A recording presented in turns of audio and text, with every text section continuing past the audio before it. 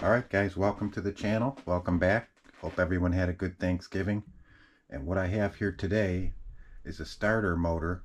It's a Tecumseh model number 37000 and it is from an Ariens 1128 snowblower, uh, nicknamed Orange Crush. And the issue we're having with this is you press the button, you press the button, and the motor works, but the gear is not engaging. Uh, so I'm just going to go over some things to look for before you end up tossing a starter away. Now this one we don't have to open up because we know that it's functioning. You know, there'll be other uh, instances where it just doesn't come on at all. That's not the case here. Uh, when it was on the machine, I know that it was coming out you know, basically how this works is when you engage the button, there's so much force. there's a worm gear here. And what that'll do is force this gear out and it will engage the flywheel. And once the engine starts, this will retract back uh, to this position here.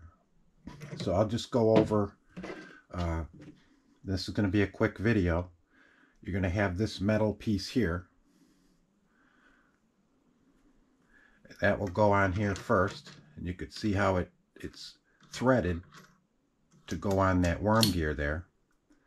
And then you have this. Now it's kind of a weird setup because this appears to work by friction. In other words the bottom of this gear is rubber. And so with the force it forces this outward which in turn forces this gear outward to engage the, the flywheel. Uh, so that would go on first. And then you would have this here, which does not have threads in it, which I thought is kind of odd. You think it would have threads in it. So this appears like it's just this metal comes out, this plate, and because this is rubber, it's working by friction. This touches the rubber and it turns this. Um, so this would go on here. And then you would have the spring for the tension, which would go here. And you have this uh, ring right here. And the opening would go on top.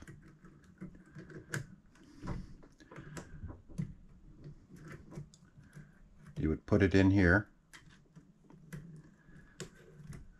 And then you would have this little, uh, no, this is a very soft metal you'll see there's a slot on this uh, shaft here and they do have special tools to remove this but I just used uh, pliers. You can use a couple pairs of pliers a screwdriver. It's very soft metal so it's not that hard to uh, get off of here. You can see I've got it off. I'm not going to spend the money on the tools just to get this off they actually have a tool to get this rubber cap off, which I thought was ridiculous. But after this goes on, then this rubber cap would go on here, like that. Um, so, I was able to get this ring off. It's not a big deal. Like I said, it's soft. If you can peel it off enough, uh, putting it back on isn't that hard. You would just have to put it on, put all your parts on, put this back on and just take some pliers and kind of just uh, go around and set it back in there. Uh, so that's how this works. Now I think what might have happened with this is that there was some grease. You don't want to over grease this. Uh, you don't want to use white lithium grease because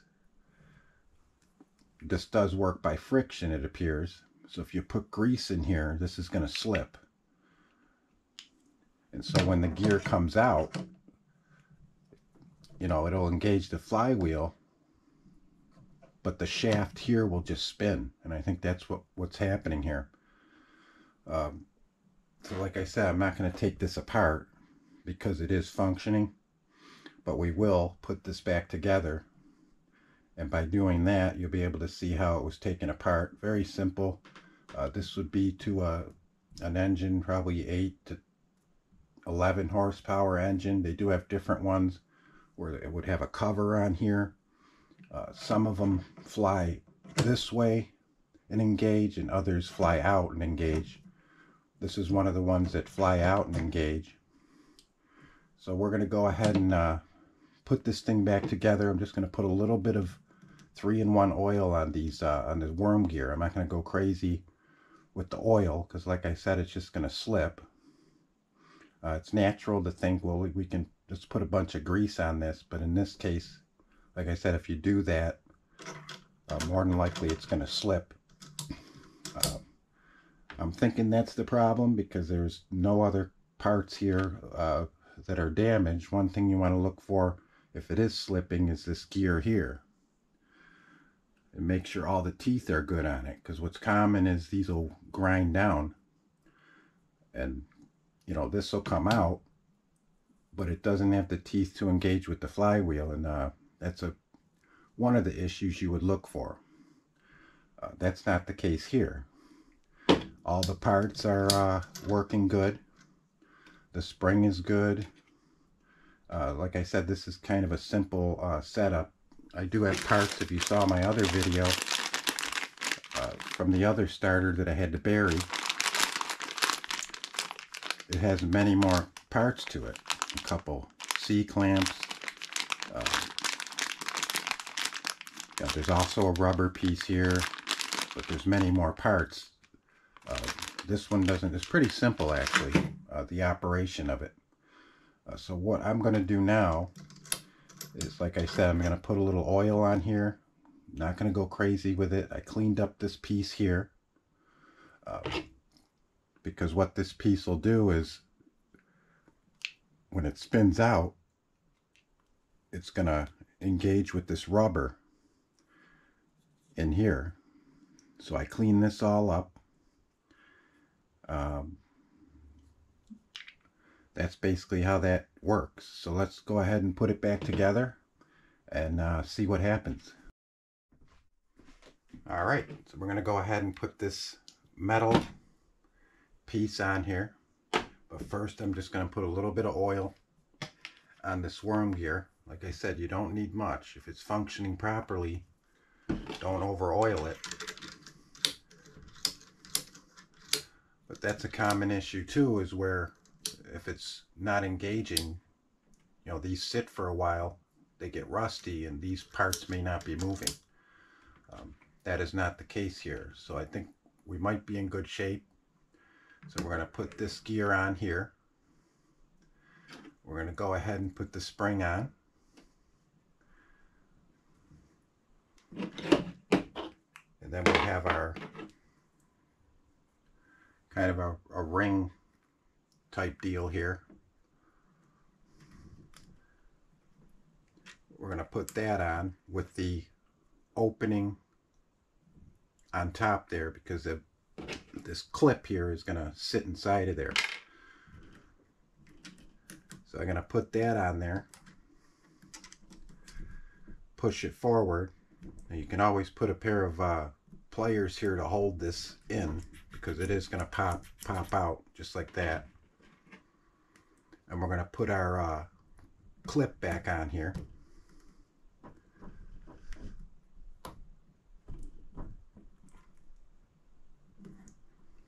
And sometimes it can be tricky.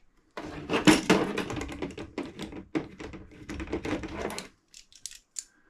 just have a pair of pliers here. I'm going to try to just start it, get it on there.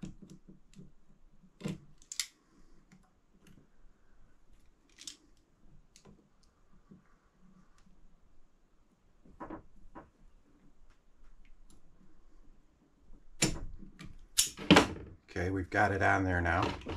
So now it's just a matter of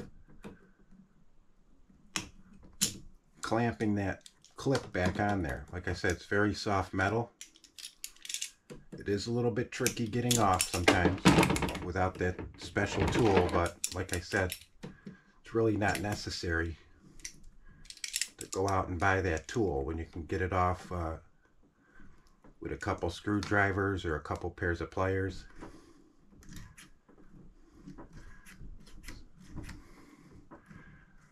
So you can see that clip is on pretty good. We're just going to go around and make sure it's tight.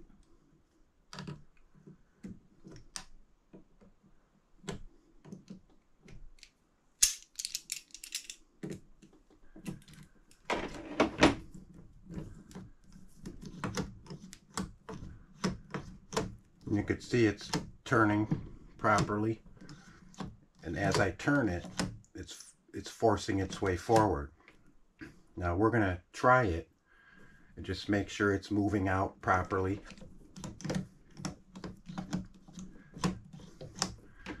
So I'm gonna get an extension cord here. We're gonna plug it in and just test it out and it should force its way out very quickly because of the torque of the motor. And hopefully when we hook this back up it's gonna uh, engage the flywheel and turn over the motor all right so let's get a look at it I'm gonna engage the button here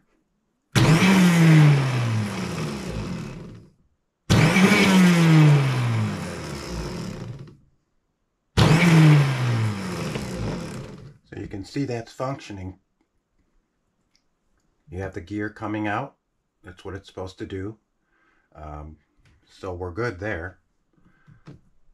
Um, a lot of times what people will do too, and they'll burn out the motor, is holding that button down too long. You only want to hold it down for a few seconds at a time. Um, and then let it cool down a little bit, do it again. Because if your snowblower isn't starting properly, it's it's another issue. You probably have a carburation issue or another issue that's preventing it from starting. So try not to hold the button down too long. Um, so we're going to get out there, put this thing back in and see if it works. And also don't forget this black rubber cap that's going to snap on the okay. end. Okay, so we have the starter back in. Uh, the top two bolts kind of have a rounded head on them and because of the slots on the top of the starter you really don't have to remove them all the way it's much easier you just loosen them up and take those bottom two bolts out and it'll come right out. We have it back in and I would recommend using Loctite uh, uh, because of the vibrations of the motor the engine. Uh, those tend to come loose. So now we got it back in here. Let's give it a shot see what happens. All right so we have it all hooked up. It's all back together. We got it plugged in. I'm not going to fully start the machine, but I just want to make sure I hear the compression. I want to make sure the engine's turning. So let's go ahead and give it a shot.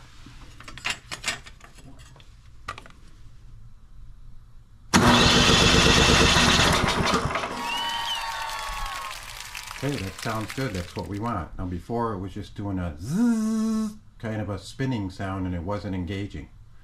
So just keep that in mind if you're working on your snowblower and the starter is not working. Try, try those simple things first before you decide to bury it in the backyard. Um, so I hope those tips helped you. Um, and we got some snow coming soon, so got to get all the machines going. Um, but thanks for watching the video. Subscribe, uh, like it if it helped you out, um, and we'll see you next time.